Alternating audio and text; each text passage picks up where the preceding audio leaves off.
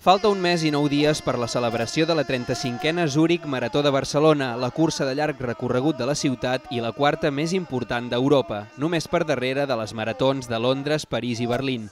Per aquesta edició ja s'han inscrit prop de 15.000 corredors, un 13% dels quals són dones, que correran tal com mana l'eslògan al ritme de Barcelona.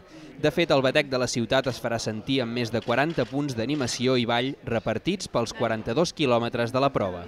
Volem integrar la marató amb la ciutadania, com us deia, fent doncs, que aquest, el ritme de Barcelona doncs, assumi doncs, a la nostra marató, creant aquest clima de molta gent doncs, que li agrada l'esport o que simplement doncs, li agrada disfrutar de la ciutat i que volen sortir.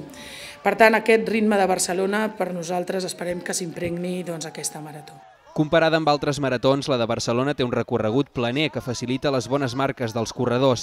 Els organitzadors han destacat que aquest fet, lligat al poder d'atracció turística de la ciutat, fa que més del 40% d'inscrits siguin estrangers, que vindran a la ciutat acompanyats i a passar el cap de setmana.